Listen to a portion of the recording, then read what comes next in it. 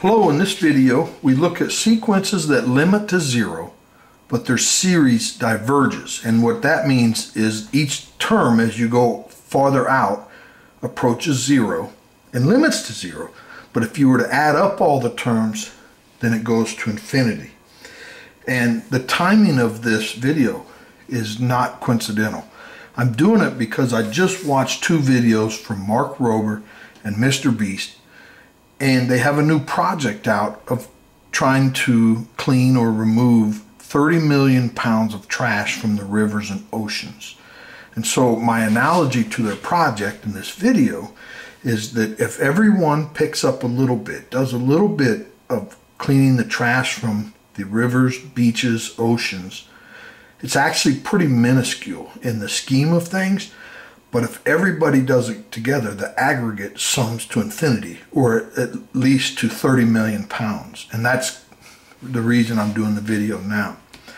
Now I have a video, or theorem 2 in a video that I call series of real numbers. We prove that if a series converges, then the terms must limit to zero. But however, the converse is not true in general. And here are two classic examples. The sum from 1 to infinity of 1 over n.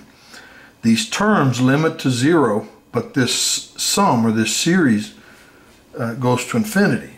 And here too, the limit of this term goes to 0, but the series diverges, goes to infinity.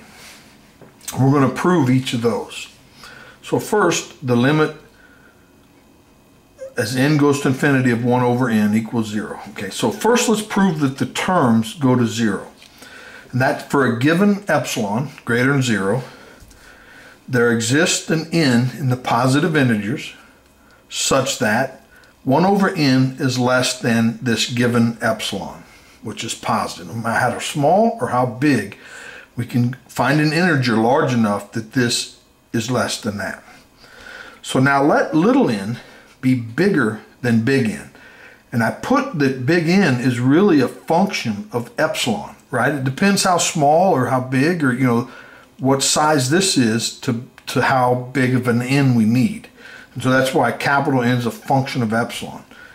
Then the absolute value of AN minus what we think the limit is, which is 0, which is this, so it's 1 over n minus 0, which is really just 1 over n, which is less than 1 over capital N, the way we've defined it, and that's less than epsilon. So for whatever epsilon we pick, these, the, these uh, values can be arbitrarily small. So that says that an, or 1 over n, limits to 0. So now let's show that the series diverges or goes to infinity. So let's assume that this series is finite, meaning it converges to some value L. And we'll call that the limit of this series. And it's less than infinity. So if we were to write these terms out, then L is equal to 1 plus a half plus 1 third plus 1 fourth all the way forever. But if we change every other term, so it, this one third, if we make one fourth, so this just got a little bit smaller, right? In the same way, instead of one fifth, we make it one sixth. Instead of one seventh, we make it one eighth. So every other one, we make it one bigger. So this sequence is actually smaller than this sequence. So this sequence is less than or equal to L.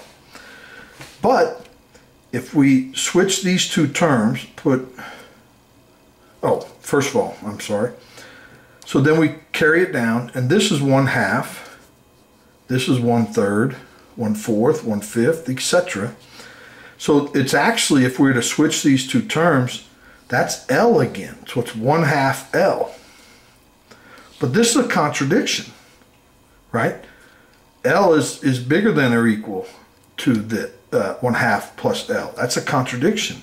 So that says our assumption that this series is finite is false. So it has to be infinite. And we've proved it. So thus the series goes to infinity.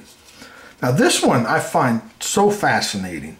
The square root is what's called uh, increasing at a decreasing rate. So each for each n, it increases, but the increase gets smaller and smaller and smaller. So let's look at those increases. And that's what we're going to let an be. But first, let's show that this limits to zero.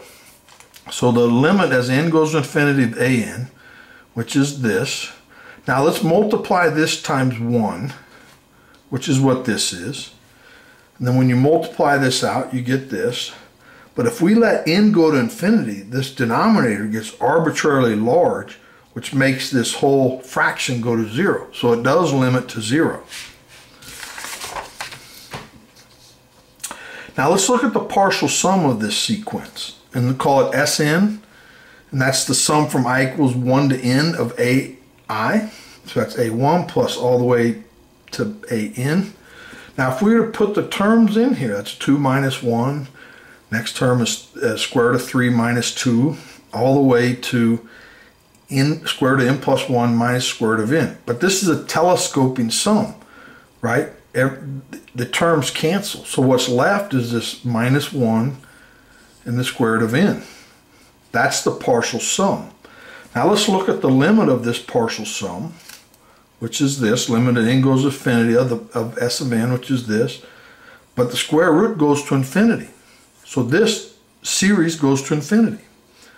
And so there we've proved two series where the terms or the sequence converges to zero, but the series goes to infinity. And again, this is an analogy of, you know, each term just contributing very, very small, minuscule amount, but the sum goes to infinity. And that's the way this uh, Team Seas the uh, project, that if everyone contributes very little, then the sum or the aggregate can be quite large. So I hope you check out uh, Mark Rober's and Mr. Beast's videos and contribute time or money, either one. So hope you enjoyed this. I sure did. Please like the video and subscribe so you don't miss the next one. Thanks. Bye.